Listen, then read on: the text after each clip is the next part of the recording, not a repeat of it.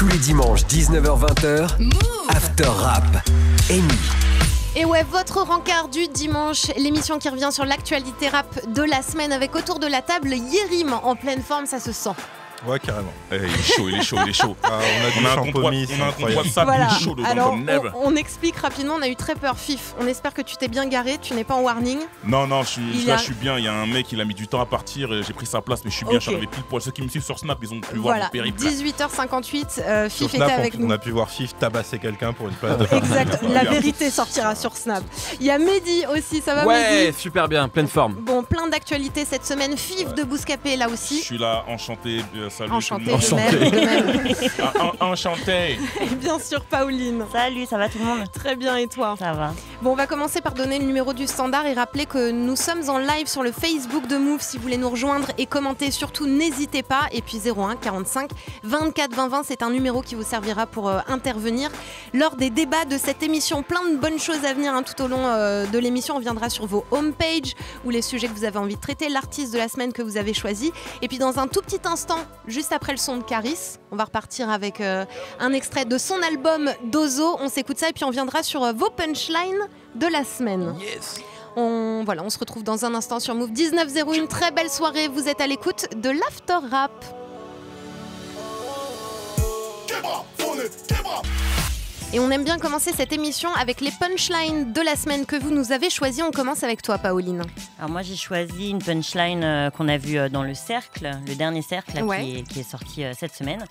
Je suis à l'ancienne, certains diront que c'est démodé, je suis pas dans ma, je suis dans ma lancée, je me fous bien de, de faire un CD moderne et c'est signé La Craps et c'est extrait de son album Sayen qui est sorti cet été. Yes. Donc, donc voilà, La Craps qui a, qui a retourné le cercle cette semaine pour ma part. Très bien, Pauline. Yérim. Euh, voilà, bah moi j'étais aussi dans le cercle. Ouais. Normalement, c'est. Enfin, voilà, Oui, je t'ai vu. J'aurais cru que tu m'aurais placé une J'ai failli, j'ai failli. Euh, non, alors moi c'était. Honnêtement, j'avais pas de. J'ai pas trop de trucs euh, cette semaine. J'essaie de meubler parce que j'ai pas mon truc sous les yeux. Ah. Voilà, c'est bon, on y est. Alors. cuisine. tu parles de cuisine. Ouais. Donc c'est une d'Alpha 520 sur Enlève tes ça 2 qui disait euh, que de la cuisine de chez moi, Thieboudienne et Yassa, pas de poisson pané, purée au petit pois, adoucissent les négros, puis les rendent faiblards. C'est pour ça que les gangsters maintenant jouent les canards. Parce qu'on oublie souvent le grand combat d'Alpha 520 contre la cuisine de merde que, ouais, que je viens de citer. Eh bah très bien, merci Yérim. Fif. Ah, moi, c'est euh, c'est une- encore une punchline d'Orelsan dans le morceau San. Ça va faire trois semaines. Fifi. Ouais, je sais, je Il sais. le saigne, il le Je saigne sais, je cet sais, album. je sais que j'aime beaucoup l'album. Il fait tout pour avoir une interview là en fait. Ça. Mais je t'ai dit, on l'a déjà eu là. On a- on l'a rencontré déjà, on a fait un truc pas mal. Non mais il ensemble. veut un truc en caméra. tu Et, vois, euh, tu sens. et comme m'a corrigé Amadou, c'était pas un fauneur, on est parti le voir en direct. Mais bon, comme- c'était pas moi qui a fait le truc, il m'a dit Ouais, non, euh, c'était pas un fauneur, on est parti le voir. Et Donc sinon, voilà. ça se passe comment au niveau de la punchline? La punchline, c'est euh, j'aimais la hype avant, j'aimais le rap avant que la hype gentrifie. Et euh, vraiment, j'aime vraiment euh, cette phase parce que c'est, c'est, elle est tellement vraie, tellement réelle. On essaie de, de, de nous choir à notre mouvement, mais on est là. Donc euh, j'aimais beaucoup le rap aussi avant que la hype là gentrifie. Nous, on est là depuis longtemps. Eh bah Tous les ça, acteurs du, du hip-hop, big up à vous tous. ça marche, Fif. Et enfin, Mehdi, toi. Moi clairement j'ai attendu que le rap soit à la mode hein, pour m'y intéresser. Je Oui, on- d'ailleurs, on est tous au courant le- autour de cette le table. On voulait t'en Le parler. graffiti, tout ça, je- clairement ça ne m'intéresse pas. Euh, moi c'est une, une phase de- d'un rappeur qui s'appelle GAN. C'est un rappeur belge euh, sur un morceau qui s'appelle En chair et en os et il dit Paraît qu'on vend mieux quand le public est blanc. Beaucoup, de beaucoup des rappeurs viennent de mes glands. Donc déjà il a deux glands apparemment, ou Mhm. plusieurs en tout cas, donc c'est assez intéressant. Et c'est pas mal parce qu'en fait le, le mec c'est un rappeur belge euh, qui s'appelait Gandhi avant. Et moi je me souviens quand j'ai commencé un peu à m'intéresser comme tout le monde à la scène belge, on va dire en 2015. Tout le monde disait ouais c'est cool tout ça, mais en fait le mec est archi chaud, que- qui a jamais percé, c'est Gandhi. Et Ouais. donc là il revient, il s'est renommé GAN et il a sorti ce morceau donc en chair et en lox et c'est vraiment vraiment super bien. Et euh, donc j'attends la suite. Ça marche. Merci beaucoup euh, pour ces punchlines. Dans un instant, vous, nous a- vous allez nous parler plutôt des artistes de la semaine que vous avez sélectionnés chacun. Euh, on revient dans quelques minutes, juste après ce son de Booba, DKR qu'on a placé euh, aujourd'hui, puisqu'on va en parler, me semble-t-il. Il y a de l'actu au sujet de Booba, il y a de l'actu au sujet de son album Trône, euh, puisqu'il a annoncé euh, la sortie euh, de l'album le 15 décembre prochain. Si vous êtes un petit peu au courant, 01 45 24 20 20, vous pouvez nous appeler dès maintenant, puisque ce sera le débat du jour, et on vous le rappelle, le 15 décembre, c'est euh, la date d'anniversaire de Rof. Et Rof a d'ailleurs répondu sur les réseaux euh, depuis euh, la sortie euh, de la publication de Booba. Pourquoi tu rigoles, Fif? Parce que l'intro elle est longue et t'essayes de meubler jusqu'à ce est- que, non jusqu'à ce que ça, Booba, ça me permet. Bah, maintenant, je être trop courte. Ça me permet de teaser euh, le sujet du débat et tout de suite c'est DKR. Belle soirée à tous, vous êtes à l'écoute de Move. Tous les dimanches jusqu'à 20h. After Rap. Amy. Et il y a eu euh, des grosses sorties hein, ce vendredi, comme euh, depuis cette rentrée en fait niveau rap, il y a de- vraiment à Bah, chaque déjà, fois. Fif est sorti pour aller aux toilettes. C'est vrai. Et il devrait revenir tout de suite. Bravo Fif, mais quel timing, timing. quel timing Fif. Euh, et donc chaque semaine, vous choisissez l'artiste que vous voulez. Il y a eu entre autres MC Solar Caris, on va en parler. Et on va commencer avec toi, Yerim. Alors moi c'était Roméo Elvis. En vrai c'est pas pour un son parce que le son est connu depuis euh, mars dernier il me Mhm. semble. Euh, mais c'est pour le clip qu'il a sorti euh, cette semaine qui s'appelle donc Sabena. Et bon c'est une sorte d'ego trip un peu chez Père. Sabena étant le nom d'une compagnie aé- aérienne pardon qui, qui Belge. a- belge qui, qui n'existe plus maintenant je crois.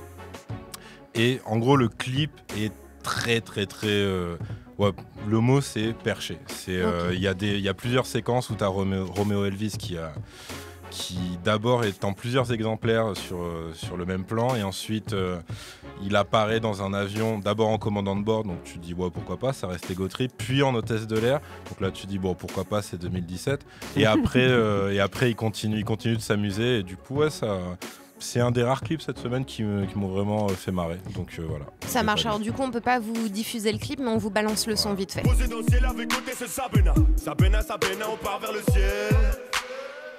La musique a payé les tickets d'avion, c'est le paradis, enfin récompensé. Sabena, Sabena, Sabena, j'ai choisi cette vie car je savais qu'elle compenserait mes envies de Voilà le choix d'Irim pour cette semaine et on enchaîne avec Fif et ça tombe bien puisqu'il est là. Ouais, alors moi, mon artiste de la semaine, c'est Koffs. Mhm. Donc Koffs, rappeur marseillais qui, qui, qui est là depuis, depuis un certain temps. Et là, euh, depuis, depuis quelques temps, il, a- il fait son retour avec des chapitres. Donc là, il a balancé son chapitre 5 des armes et des hommes. Et, euh, et puis, c'est vraiment, Koffs, c'est un rappeur à découvrir pour ceux qui ne connaissent pas. Il- comédiens aussi, ouais. Ouais, aussi, dans Chouf. voilà, il a joué dans Chouf. Et euh, là, il s'est, il s'est trouvé, je trouve. Genre, il s'est, il s'est, il s'est- il s'est trouvé. Et chaque, je sais pas si chaque semaine, enfin là, il est à son cinquième chapitre. Et vraiment, je trouve que c'est bien écrit. Il a une écriture très sombre, très noire. Certains disent que c'est un sataniste. Lui, il en joue, ça le fait marrer. Donc, euh, petite anecdote, la dernière fois, on, avait- on l'avait filmé en freestyle et, et il savait pas comment meubler son freestyle. Il s'est dit, bon, je vais acheter, on va aller à Leclerc acheter des bougies. Mhm. Et c'est parti comme ça, un truc balourd. Et les gens ont dit, ah, c'est un sataniste. Ah. Donc lui, il joue, il a plein de punchlines sur la mort, sur, euh, voilà, sur le diable et tout ça. Enfin, c'est c'est sympa. Puis allez découvrir euh, Koffs. Ça marche. Et si vous le connaissez pas encore, voilà un petit extrait pour vous. L'amitié c'est sacré, va dire ça à ta mère, moi j'ai fini solo. Je n'ai croisé personne quand le frigo était vide, quand j'étais sous l'eau. Épargne-moi les détails, pour ton ferme ta gueule ou bien parle-moi de chiffres. Ça s'enlève la vie pour une pute de service ou un réseau de shit. Je veux mourir millionnaire. Voilà l'extrait de Coff, donc le choix de euh, Fif cette semaine. Mehdi, Euh, moi j'ai mis Dooms, si Ouais. je ne dis pas de bêtises, euh, qui vient de sortir enfin son premier projet solo qui s'appelle Pilote. C'est un rappeur qu'on bah, connaît en tout cas depuis longtemps parce que dès qu'on a commencé à apparaître, Necfeu, de l'entourage 1995, tout ça, pour ceux Oui. qui voient pas du tout c'est le très grand noir ouais. Ouais, c'est ça, Très exactement. Et d'ailleurs, qui est en couple avec une actrice, euh, avec Ouais, Adèle Exarchopoulos. ils ont un- tu vois. un enfant, c'est exactement. les gossips, Allez. Non, on parle est dedans, on est on part en pipe. Euh, il, en- il en couple avec une palme, hein, sa femme est une balme. hein. Exactement, c'est- connu, mais les gens en parlent dans leurs morceaux de rap. Mais en tout cas, on Ah, le, voilà, il était là dès le début dans les vidéos freestyle de Nekfeu, etc. de tout le monde. Et sauf, même dans les freestyles, la laverie de Nekfeu à Ouais, l'époque, on ouais. le voyait. Sauf qu'il avait jamais vraiment, bah, il avait rien sorti, on le voyait sur des, des morceaux, etc. Là, il sort enfin son pré-projet, c'est un EP, c'est je crois 8 ou 9 morceaux. Et c'est cool, vraiment, c'est vraiment bien fait. Je trouve qu'il y a quelques morceaux où il rappe quand même un peu beaucoup comme Nekfeu. On Mhm. sent que c'est la même école et qu'ils se rapprochent beaucoup, Ouais, mais il y a des. le. Ouais, voilà, après c'est normal en fait. ouais. Mais il y a des morceaux vraiment bons. Il vient de sortir le clip pour moi du meilleur morceau qui s'appelle Dans le sang. Il l'a sorti aujourd'hui. L'équipe est assez fou en mode jeu vidéo à la- à l'ancienne. Donc ouais, Dooms avec le EP pilote, euh, c'est c'est un bon pré-projet. J'espère qu'il va enchaîner rapidement et qu'il va pas nous, nous laisser attendre encore 6 ans quoi. et si c'était Necfeu qui rappait comme lui?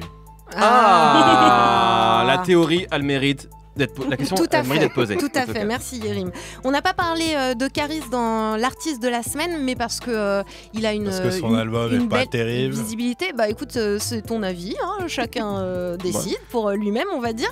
Mais en tout cas, euh, on en parlera dans les pronostics. Et euh, c'était cool que vous puissiez euh, nous faire découvrir aussi ces autres artistes. Et puis toi, Pauline, tu nous parles euh, d'un grand monsieur du rap français. Ouais, à ce qui paraît, je- de euh, MC Solar avec Il son est là album, depuis longtemps, ouais. Vas-y.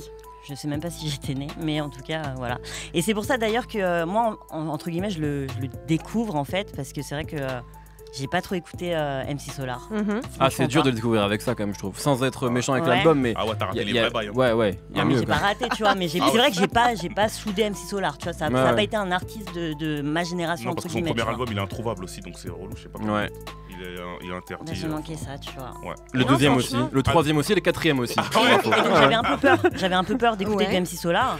Et euh, surtout avec euh, le titre qui nous a bal- balancé, Sonotone. Enfin, moi, Mhm. je l'ai trouvé euh, assez, euh, assez mauvais.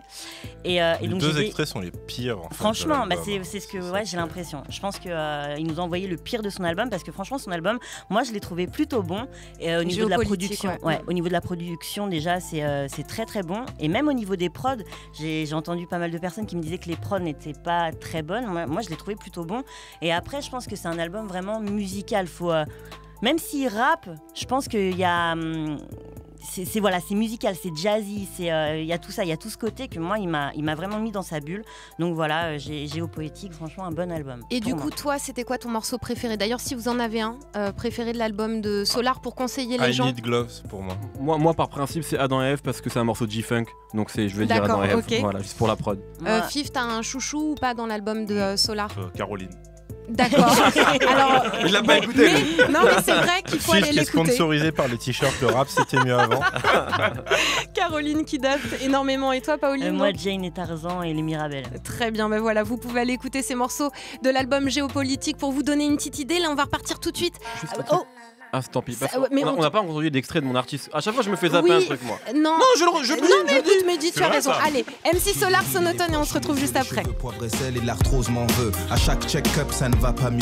J'ai la carte vermeille et la retraite, je suis vieux. Et c'est l'heure pour nous de faire le tour de vos homepages. Et aujourd'hui, on commence avec toi, Pauline. Euh, bah nous on a choisi un, un sujet qui va certainement plaire à, à Mehdi sur Vrai Rap Français. On parle d'Amza. Je connais pas. Pas de euh, qui tu parles. Manager.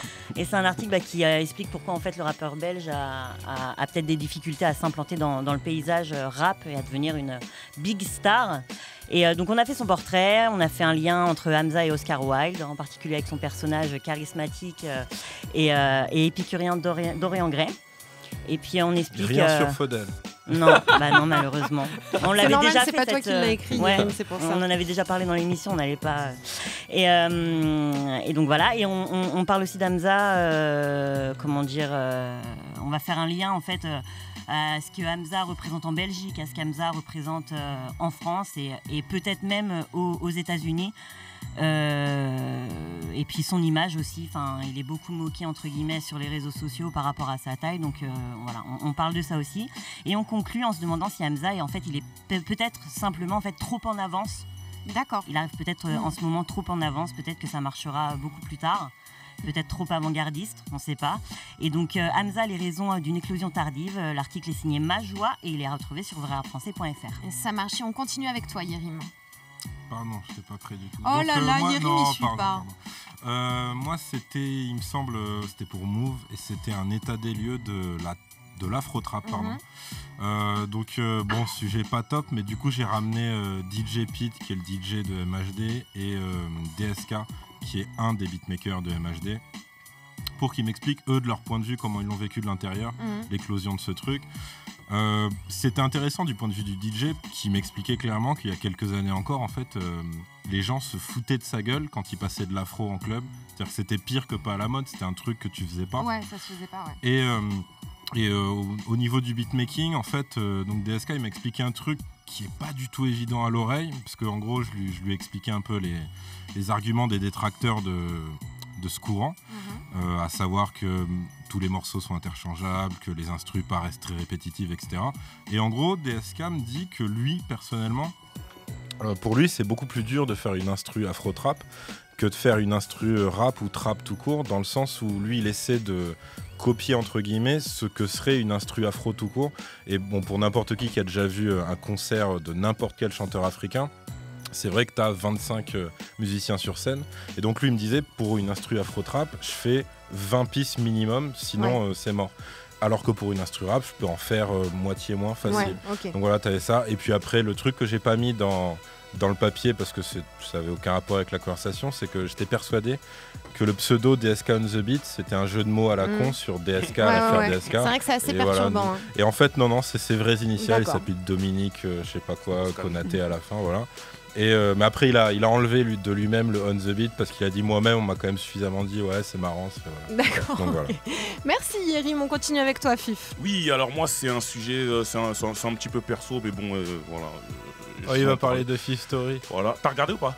Ouais, j'ai regardé. C'est sympa C'est bien Ouais, mais c'est- j'ai compris pourquoi ça a mis du temps. Si tu dois tous les faire à Rio. Dans un, dans un endroit différent du monde. Ouais, c'est clair, il voyage beaucoup, Fif, il faut savoir. hein. Ouais, ouais, vite fait. En fait, bah voilà, cette, cette, euh, semaine, c'était les 12 ans de Bouscapé, donc le Mhm. 31 octobre. Et puis, euh, je balance une série qui s'appelle Fist Story. J'ai lancé ma chaîne YouTube. Et puis, euh, en fait. T'es un le- youtubeur maintenant. Voilà, je suis devenu un youtubeur comme Norman et tout, tout Influenceur ça. et tout, ouais. YouTube Monnaie, tout ça. Et euh, voilà, je, je vais raconter un peu mes anecdotes, les, les dessous de mes vidéos qui ont marqué les gens. On me pose beaucoup de questions à chaque fois sur tel ou tel artiste. Et puis je vais répondre en vidéo parce que voilà, j'ai beaucoup d'anecdotes avec plein d'artistes. Donc, Tu as euh, parlé des mecs qui t'insultent ou pas? Ouais, ouais, je Ouais. parlais de tout, de tout, de tout, de tout. L'appel et tout. Est-ce ça, que tu as parlé euh, des mecs qui t'insultaient avant et qui maintenant t'adorent maintenant que tu parles de. Je vais parler de tout, mais Ok, t'inquiète pas, je vais tout dire, je vais tout, je vais tout expliquer, ça va être sympa. Et euh, j'ai un deuxième sujet, si je peux me permettre. On a- Vas-y. Voilà, euh, je, je peux. Hein. Vas-y. Euh, on a lancé une série qui s'appelle Wesh aussi, Mhm. W-E-S-H. Donc toutes les deux semaines, on met en avant euh, un artiste, un jeune artiste euh, qui est en devenir. Donc on a balancé tout à l'heure le Wesh de la Squale. Donc en gros le Wesh, on explique, c'est présenté par Nico, le Bousca colombien qui s'occupe de nos playlists Mhm. chez nous. Et on met en avant un artiste en devenir. Ouais. Et en 5 points, c'est en vidéo et en musique. Et on a déjà fait euh, on a fait euh, du coup moi à la Squale aujourd'hui, Soul King. Et euh, c'est toutes les deux semaines sur Bouscapé. C'est en vidéo, allez voir sur notre euh, page YouTube. Ça roule. Et avec tout ça, tu nous as pas invités pour fêter les 12 ans? J'ai dit je ferai pour les. Mmh. comme Pour les j'ai dit, Je 15, sais, a mais quand voilà. même, ça fait beaucoup de 15, choses à ouais, fêter. mais on n'a rien fait. On a, ouais, mais on n'a rien fait là en ce moment. Si, C'est chaud ça- le genre et Mais c'est ça. normal. Donc on attend pour les 15 ans. Inch'Allah, il va se passer des choses. Faites des t-shirts, Ça merde. roule.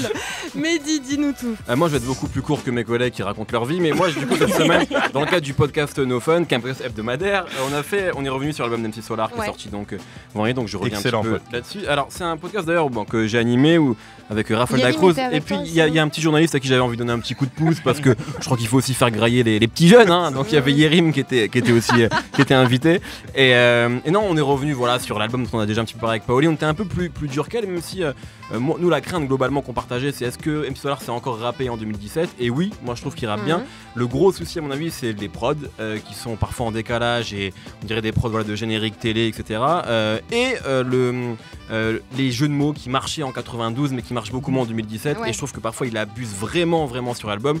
Mais ça, ça en fait un album en fait un petit peu mi-figue, mi-raisin pour moi. Mhm. qui est intéressant à écouter quand on est fan d'MC Solar, mais je trouve que c'est assez dur de découvrir Solar avec ça. Vraiment, pour moi, essaye de- de- de- d'écouter les trois premiers au moins. Je les ai écoutés, Euh, tu vois, mais je suis pas rentrée dedans. C'était pas ma cam, mais peut-être avec l'âge, la maturité, j'en sais rien. Tu vois, aujourd'hui, je... Mais en fait, le peut-être truc, écouter les, les autres. hein, Le écoute le premier, écoute le premier. le truc qu'on peut faire aussi pour la semaine prochaine, c'est chacun d'entre nous choisit le morceau qui kiffe d'MC Solar à l'ancienne. Ouais, c'est On l'envoie pas. Non, mais t'en choisis il un. Ok, on va essayer. Un Obsolète, des- obsolète, Voilà. obsolète, voilà. Du coup, Pauline, t'as des devoirs pour la semaine prochaine, faut que tu les écoutes et tu nous fais un petit débrief de ce que t'en as pensé. Faut imaginer quelqu'un, par exemple, qui découvrirait Star Wars avec euh, Bah, c'est ça. la prélogie. C'est vrai, Ouais. c'est vrai. Bon, en tout cas, donc euh, voilà, euh, podcast de No Fun sur euh, l'album euh, d'MC Solar. MC Yep. Solar, donc le grand retour, puisqu'il a sorti Géopolitique vendredi. On va arriver euh, dans quelques minutes bah, au débat du jour 01 45 24 20 20. Vous pouvez nous appeler, vous nous rejoignez aussi sur euh, Facebook. On est en live, vous pouvez commenter et on va bien sûr parler de ce qui s'est passé hier soir. Booba qui a balancé sur son Insta euh, le hashtag Trône 15 décembre 2017. Donc ça y est, il a annoncé la sortie de son album. Le 15 décembre, c'est le jour de l'anniversaire de Hero H2F. Euh, Rof a d'ailleurs euh, répondu hein, depuis à cette publication de Booba et c'est le débat du jour. On en parle 01 45 24 20 20 juste après Hamza et le titre Vibes. Tous les dimanches jusqu'à 20h. Move After Rap.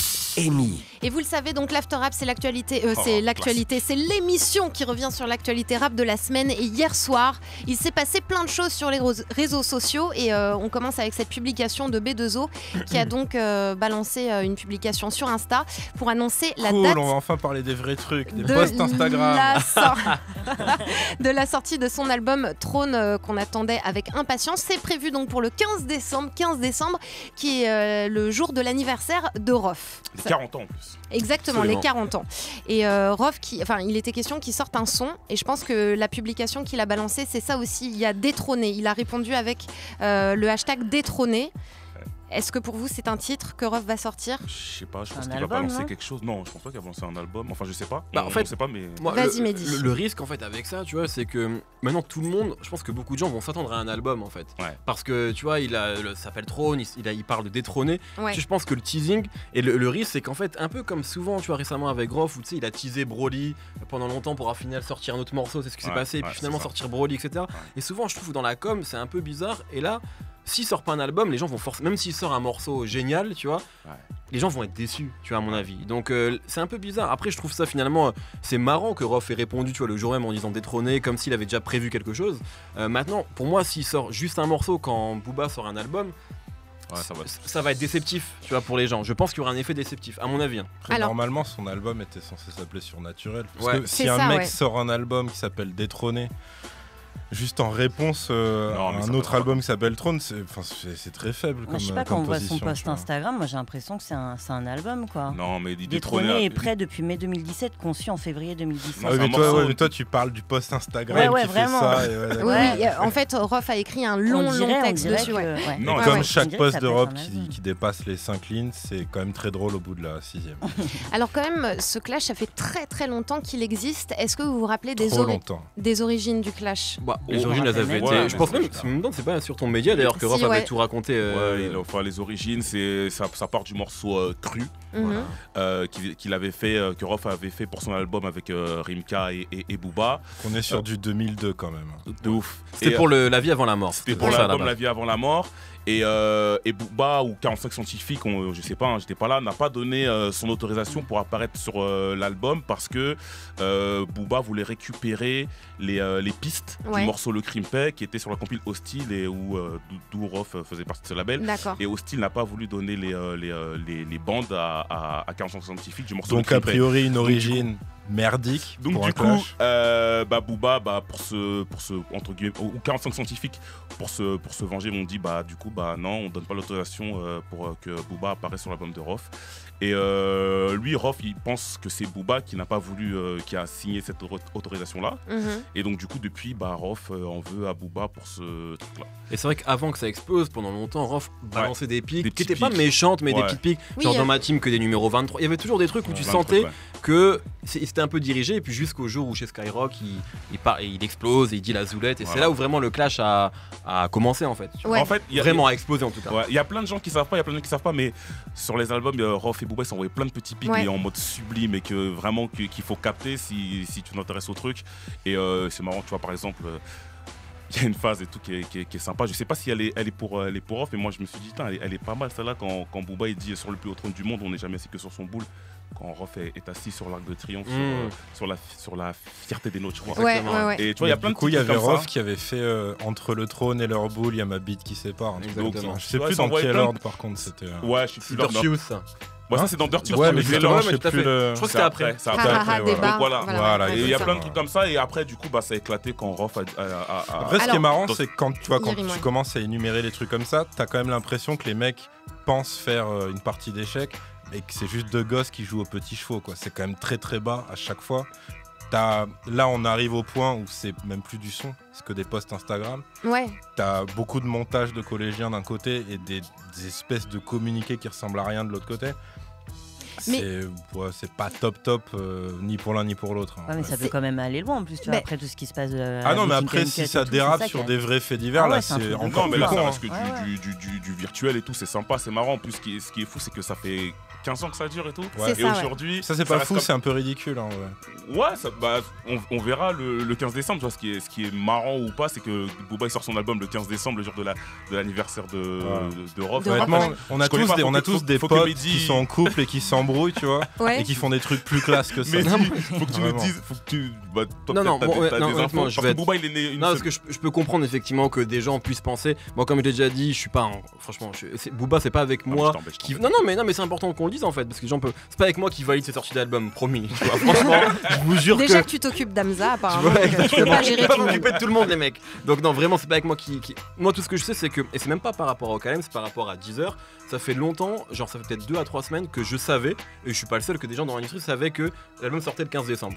Voilà, mais alors que Rof, on n'a pas, on, ça, fin, pour moi, il y avait pas, il y a pas d'album en tout cas quand tu parles avec les labels etc qui sortait ce jour-là. Après, ça peut se faire euh, assez rapidement, mais c'est plus facile de sortir un morceau comme ça du tac au tac qu'un Ouais. album. Donc c'est la question. Moi, c'est ce que je me dirais. Je me dirais, je pense que je, je serais déçu si j'étais fan de Rof après ce qui se passe là, qui sort pas d'album, mais en même temps, je parierais plutôt sur un morceau ou Ah, un truc ou une Il vidéo qu'un. Il sortira pas d'album. Moi, je pense que c'est un morceau qui sortira. Je pense aussi. qu'il est pas, il est pas encore prêt euh, pour, euh, pour son album. hein. Faut pas oublier les autres problèmes qu'il a. Il a peut-être pas que ça. Ouais, ouais, cette semaine, il aurait une décision, il attend une hein. décision, donc euh, ça dépend de ça, comme on disait la dernière fois. donc. Alors on va continuer, on va continuer ce débat. On vous rappelle le numéro 01 45 24 20 20 01 45 24 20 20 si vous voulez réagir. Vous êtes toutes et tous les bienvenus et euh, vous êtes très nombreux aussi à réagir sur le Facebook Live de Move. Il y a Buddy qui nous rappelle que euh, vous savez donc Rof a été condamné à 5 ans de prison suite à une affaire qu'il y avait eu à la boutique Uncut, c'est la marque de Booba qui euh, la boutique est à Châtelet. Tout à fait. Et euh, du coup, il a fait appel. Donc en fait, la, la condamnation, enfin l'appel est remis à un an, un an et demi,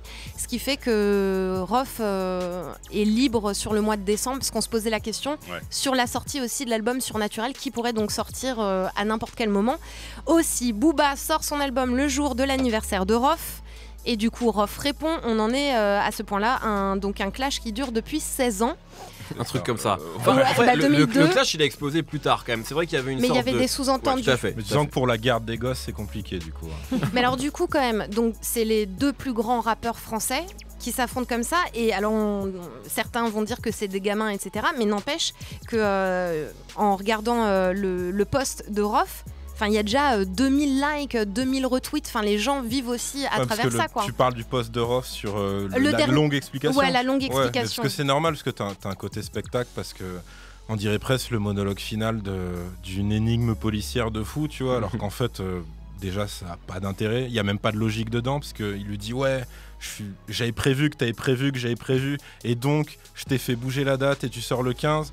Et c'est pas, c'est pas professionnel parce que tu te coupes d'une D'une semaine bête de sortie. Et trois lignes après, il dit D'ailleurs, le 15, j'avais aussi sorti le code de l'horreur et c'était génial et tout. Donc tu fais, mais il n'y a même pas de logique, tu vois, dans le truc.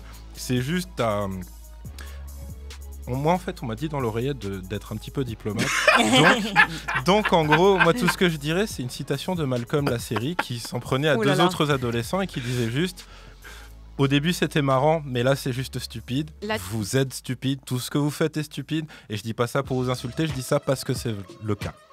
Ça, ok d'accord. Euh, je pense qu'il y a beaucoup de likes et tout ça. euh, parce que là, c'est enfin, c'est du clash pour du clash, mais là, il y a quand même deux, deux sorties d'albums à la clé aussi. Oui. Donc je pense que là, on, on se, on se réintéresse à, à la chose. Quoi. Non, Après, moi, les- je pense vraiment que les fans de Rof, on en marre qu'ils s'affichent et veulent de la musique. Oui, ça, Et que les fans de Booba en ont peut-être un peu assez des montages Insta sur plus C'est d'un an et aussi. demi et qui veulent leur musique aussi. Ah, Après, il y a du like aussi, c'est normal parce que c'est l'odeur du sang aussi. hein. Mm. C'est Ouais, voilà, tout le monde. Moi aussi, on a, Ouais. franchement, on peut se le On dire. a tous jeté on a- des cacahuètes Ouais, sur des singes. on en on a- avait marre, on on en quand même à un moment Oui, des mais clashs, tu vois.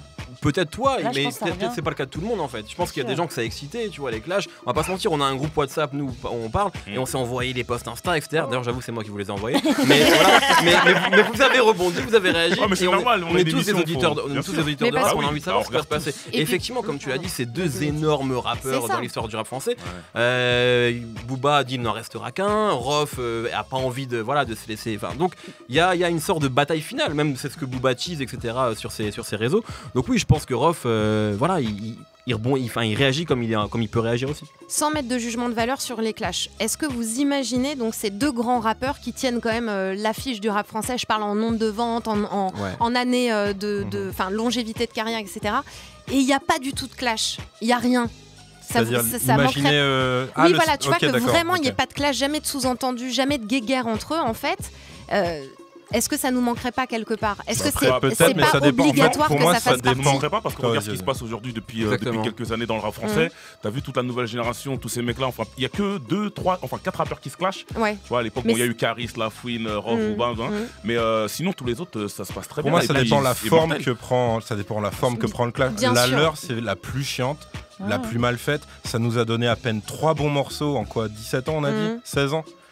C'est pas terrible, franchement, c'est Et puis on va prendre les. La auditeurs à différence, l'antenne. c'est que pendant longtemps, si on parle, parce que là, on parle vraiment, tu dis, de, de grosses têtes d'affiche, mais on parle aussi du coup de vente. Il y avait aussi cette compétition par rapport aux ventes. Pendant longtemps, les seuls deux gros vendeurs, on va dire, de rap street crédible, Solo. Booba et Rof. Tu vois, solo, bien sûr, Ouais, solo, ouais, bien sûr. ouais, ouais. Je parle pas de Soprano qui est dans un autre Oui, game, oui, etc. ouais, ouais, bien sûr. Là aujourd'hui, parce qu'il n'y avait pas le streaming, parce que tout ça, donc c'était entre Booba et Rof. Donc il y avait cette compète et comme ils étaient pas potes, ils se regardaient un peu en chien de faïence. Aujourd'hui, c'est différent parce que entre Nekfeu, Nino, Niska, Bah ouais. Damso, PNL, il y en a beaucoup, donc il y a une sorte de la compétition elle est beaucoup plus saine en fait. C'est pas comme s'il y avait que Nekfeu et de l'autre côté, je sais pas, Nino. Ouais. Peut-être que ce serait différent, peut-être pas d'ailleurs. C'est ça qui rend le truc un peu ridicule. Ouais. Qu'en plus, t'as pas d'enjeu en vrai. Là, il n'y a plus d'enjeu. Il y a eu une deux époque où il y égos en qui avait sont un. très énervés l'un contre l'autre, mais t'as pas, t'as pas. En fait, le trône du, on sait pas de quel trône il parle, hein, perso.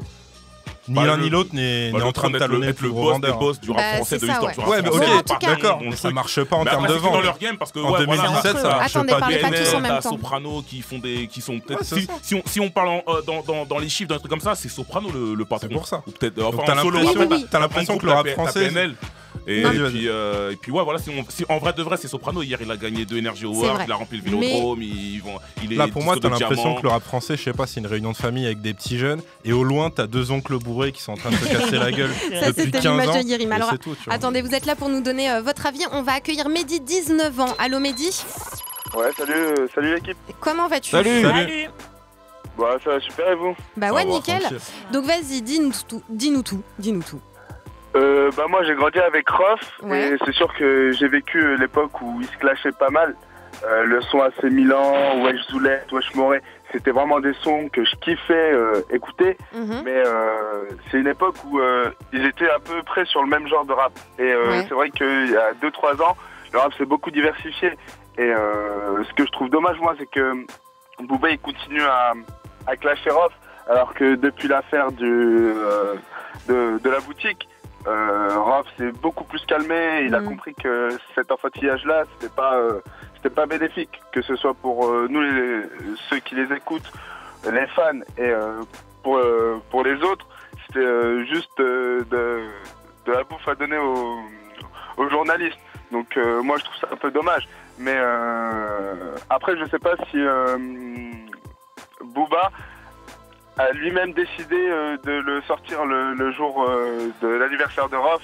Et je trouve ça dommage si euh, c'était le but. De toute façon, c'est une question qu'on se pose parce que Booba l'a pas dit. rien. Ouais, il Booba n'a pas a- revendiqué. du. Ouais, Voilà, c'est ça. il a C'est Rof 15 qui, en a déduit ça. Peut-être qu'il a raison, mais peut-être pas. Et qui a déduit que c'était un piège. enfin, Ouais. c'était- Voilà. Après, quoi. Voilà. et- ouais. Vas-y, Mehdi, tu voulais dire autre chose? Euh, ouais, ouais, bah après, euh, connaissant Booba, c'est sûr que lui c'est un gros titir, mais euh, vu que ça fait. Il est passé dans un autre délire de rap, Ouais, même lui, euh, c'est devenu un vrai businessman, ouais. euh, il devrait plutôt euh, continuer à clasher euh, ceux qui le clashent, comme Patrice Carteron, ou euh, Oui. répondre sur, sur des sons comme celui de La Fouine Aubameyang, qui m'a beaucoup fait rire, moi, personnellement, et euh, je trouvais que c'était une vraie pique que La Fouine lui relançait, et il n'y a toujours pas eu de réponse là-dessus, donc. euh, au lieu clash. de ouais.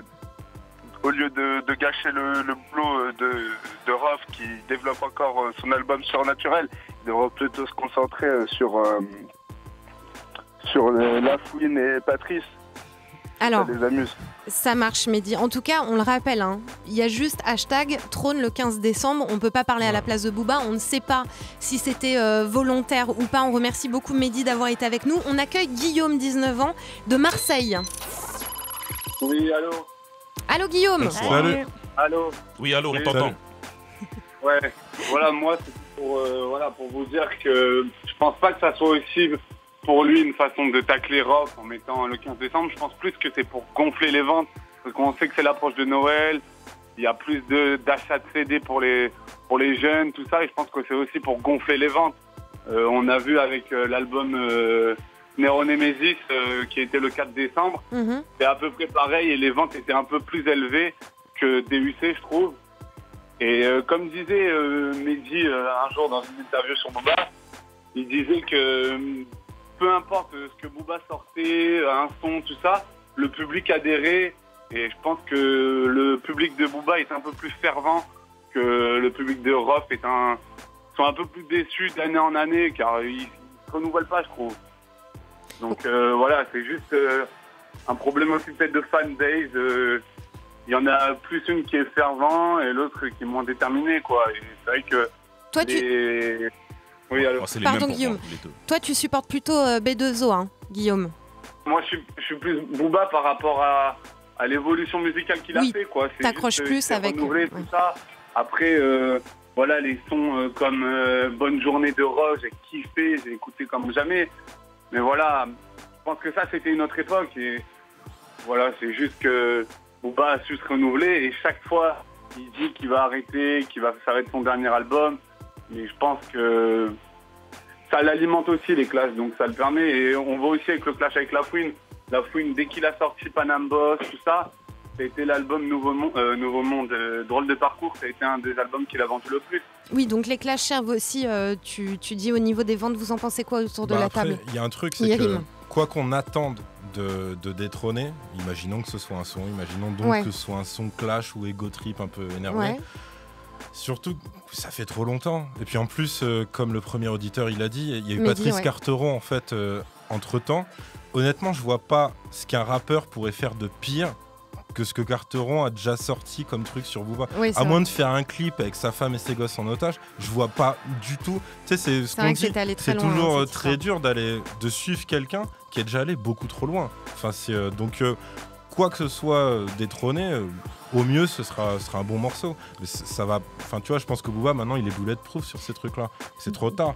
De- Après, euh, enfin, ça, ça fait un an que Roth il met Dame 16 dans tous ses clips.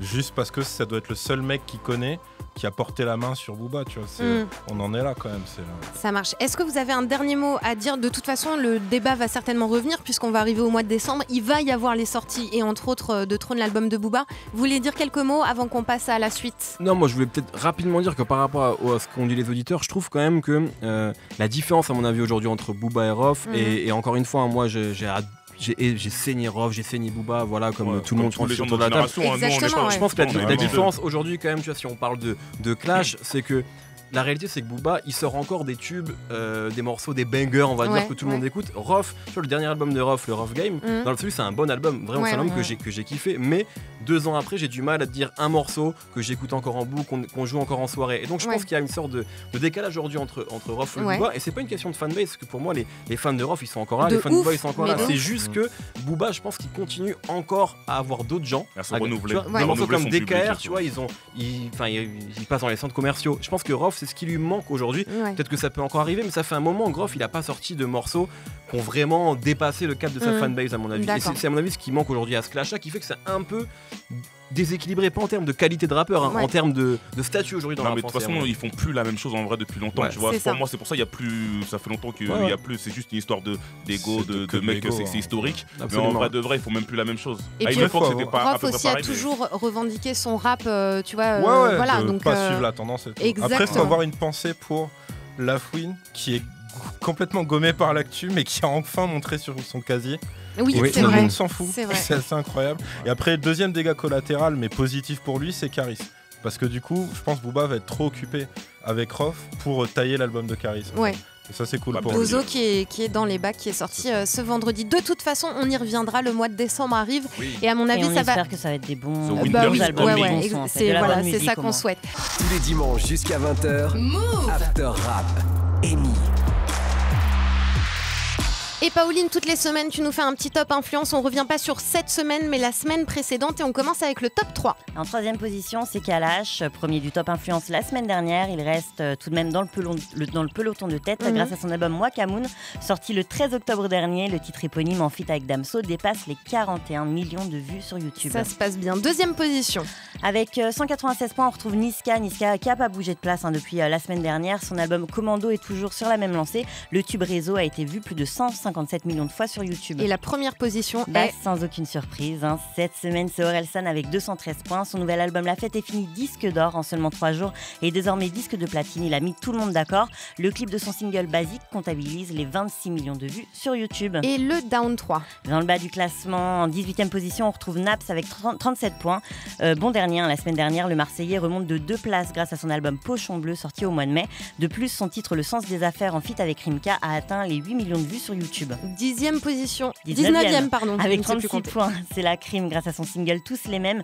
Huitième single le plus téléchargé et dixième single le plus streamé cette semaine. Et 20e position. Avec 33 points, on accueille Vald, celui euh, qui a fait dire, euh, celui qui à qui il faut dire bonjour, pardon, prend la dernière place du top influence grâce à son album Agartha sorti au mois de janvier dernier. Et les trois petits nouveaux qui viennent de rentrer. Trois petits nouveaux, hein.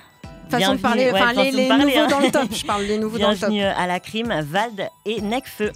Et vous pouvez bien sûr retrouver ce top influence sur euh, move.fr. Restez calés, on fait les pronostics dans un instant. Il est presque 20h, ça y est, c'est la fin de cet after rap. On devait faire les pronostics euh, sur euh, charisme, on en parlera du coup la semaine prochaine. Euh, merci beaucoup d'avoir été avec nous. Merci à vous tous de nous avoir donné votre avis autour de la table. Très bonne semaine. On Si vous voulez que l'émission dure plus longtemps, on va Voilà. ouvrir une pétition Et sur voilà. internet. Bon, alors, j'ai- alors j'ai un message pour Bruno Laforesterie. Allez, Bruno, merci, si c'est bon. On va laisser la on place à AKH et la sélection euh, de Bravo, AKH tout de suite. Et euh, je vous Et retrouve à dédicace à partir de Kéros et Booba. 21h avec DJ Ayan pour le Move Love Club. Belle soirée à tous sur Move. Vous écoutez Move. Move. Move. Move. Move.